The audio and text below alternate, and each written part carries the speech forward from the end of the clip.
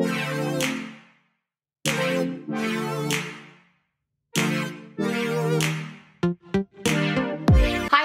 Friends. Hello, hi, how are you? I hope you guys are having an amazing day today. So today, we're going to be doing a topic that I'm very interested in. Um, this is something I've actually thought about making a video on for a while, but I couldn't really adequately like put into words what I wanted to say.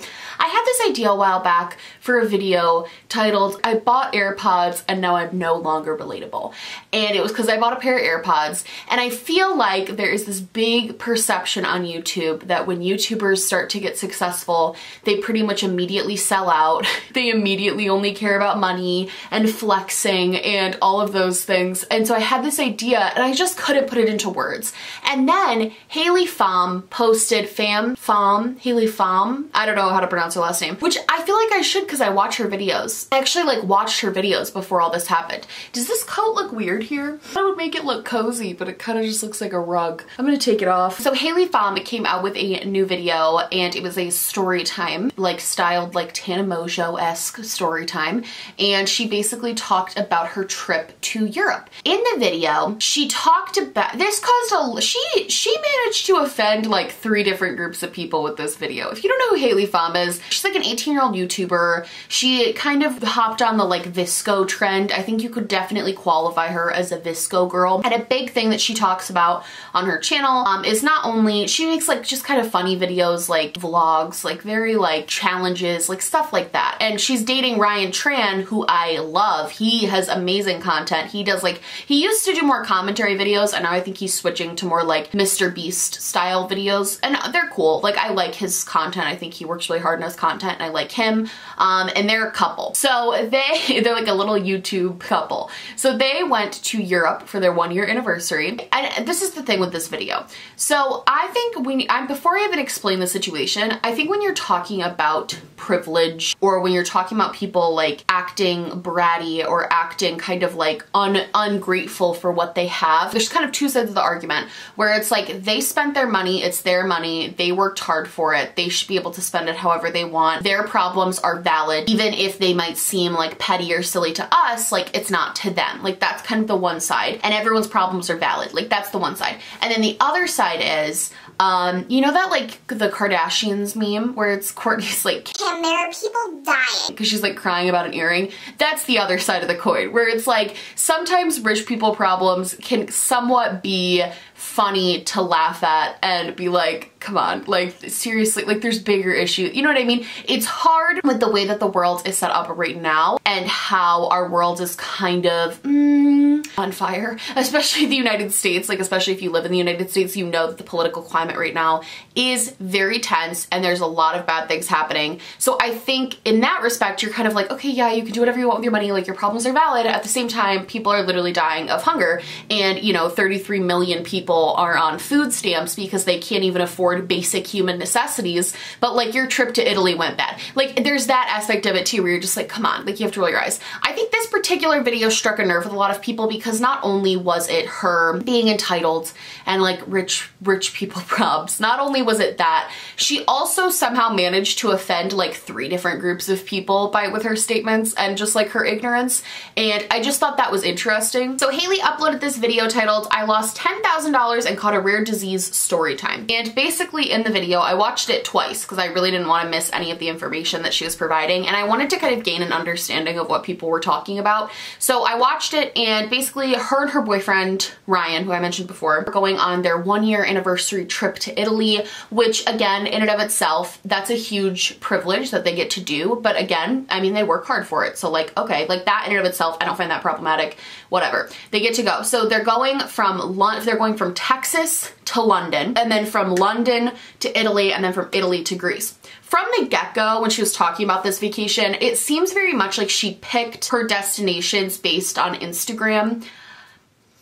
I've traveled quite a bit in my day and I'm just gonna tell you, don't pick your locations based on Instagram. I promise you you're gonna be disappointed because there's this thing called Facetune. I don't know if you've heard of it. And like everything looks prettier on Instagram. Like don't base where you're gonna go, especially in Europe, which is so rich and full of culture and just like amazing. Like don't base it off Instagram. F first of all, that wasn't even the most offensive part, but I was just like, as somebody who's like been to Europe, I was like, there are so many amazing like small little places that you can go and like beautiful, amazing towns you can visit that are so full of culture and like life and amazing that you don't see on Instagram. So if you're gonna go to Europe and you watch her video, don't pick it based on Instagram. She started talking about that and then she talked about how they flew into London. London was fine. Uh, her boyfriend had forgotten his camera on the plane, their brand new like vlogging camera. She talked about how, okay, so they tried to find it, they couldn't, and then the, air, the airport company called them and they were like, oh, just come get it when you come back to the airport to leave. So they went without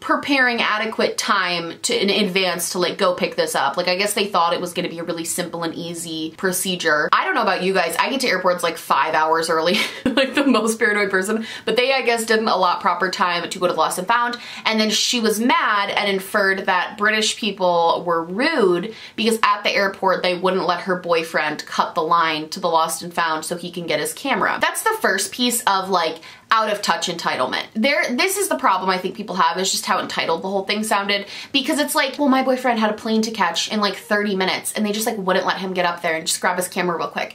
And it's like, you're not taking into account that everyone in that line is also at an airport and like also probably has a plane to catch. Like, you know what I mean? So that was the first kind of red flag. Then she said she went to Italy. Italy was beautiful, whatever. She went to she went to Santorini, Greece. And she kind of crapped on Greece. Um, and I feel like this is the one that people were the most offended by this and her comment about nurses, which pissed me off. But she went to Santorini and she basically told people not to go to Greece because they have a poor economy because she didn't like plan her trip right and she didn't know anything to do so she thought it was boring. I don't know. Again, like just the entitlement of being like, don't go to this country. Like I didn't have a good time and I couldn't find the beaches. When just a simple Google search via me, like I found like five beaches in Santorini that are like world famous beaches. You know what I mean? So it was, again, just like that's an ignorant thing to say. To say not to go to a country because it has a poor economy, especially when the main reason that economies can be boosted is via tourism, is like a kind of ignorant and silly thing to say. And again, I was just like, man, what are you doing? She went on to talk about the fact that uh, she, I guess she like made a lot of mistakes booking the trip, which like she's 18. It was probably her first time booking like international trips like that to that scale. So it makes sense that she would make a lot of mistakes. But she basically talked about how she booked the wrong dates home to get home and she ended up having to pay like $3,000 to like $6,000 to like get home and, you know, get her mom home and like get everybody home because she screwed up. And like, okay, that sucks. Like, yes, but at the same time, again, I think people's problem with it was like, well, it was your, like the whole video, it was basically basically like it was her fault that all of these bad things kind of happened on her trip. This is only the first part of the video. It's kind of her fault that all those bad things happened. She didn't plan things right. She didn't accurately check the dates that she was booking things. She like did everything in a weird way. But it sounded like she was blaming other people for those mistakes when in reality like she's the one that screwed that up. And so I, it was weird. It was a weird video. And so then she gets home and I guess she got like really sick and then all of a sudden she had what she thought was like an STD. But she, she, if you don't know, on her channel, she's very open about the fact that she is waiting till marriage. She's very religious and all of those things. Totally fine. No issues. Like, I'm not gonna crap on someone for making life decisions that they feel are best for them. Do you? Okay, so she said she started having like pains and sores on her like I don't want to get demonetized. And uh, she talked about that kind of at length. And then this is where I found the most of the story to be the most problematic. The trip thing was just like basic YouTube entitlement, like thinking, you know, your life is really hard because your Santorini beach trip didn't work out the way you wanted to. You know what I mean? Um, that's like basic YouTuber. We've seen that type of entitlement from so many different YouTubers. This was like actually very disrespectful. Basically, crap talked nurses and was basically just saying like these the nurse like I didn't get to see their actual doctor doctors. I had to see the PAs and the PAs don't actually really know what they're doing. And like, I went to this one doctor and she wasn't a real doctor. She was a PA. They were the only one who could get me in. And she pushed my stomach and she thought I had appendicitis. She didn't even like take the time to get to know me. She went to an urgent care. If you've ever been to an urgent care, when you go to an urgent care, it's because you have something urgently wrong with you that you're like trying to figure out. They don't have time to take your full medical, you're not at a doctor's office. You're at an urgent care. They don't have time to take your full medical history. They have 25 other people with a fever and stomach pains like in the waiting room that they also have to get to. If you act like this is the thing, it's like anybody else would just know that. Like I go to an urgent care if I like absolutely just need like antibiotics for something. I don't go because I think they're gonna be thorough and know exactly what's wrong with me. I go if I need like immediate care so I can then wait to go see my real doctor who knows my medical history and knows a lot about me. So then the doctor thought she had appendicitis and she was saying that like if it was a real doctor, they would have known that it wasn't that. It was a physician's assistant, which physician's assistants are like the only reason that the medical system in America works and the only reason people are able to be seen, you know, in a quick and timely manner at doctor's offices. But like go off, I guess. I don't know. So then when she had to go to the gynecologist, she said again, she wasn't able to see the actual uh, gynecologist. She had to see the physician's assistants and they had no idea what it was. And just saying like because they weren't real doctors, they that's why they didn't know. Not that she has some rare crazy disease, which is what she ended up having was some rare crazy disease. And she goes, and finally I got to go and see the real doctor and the real doctor like knew what was wrong with me, whatever.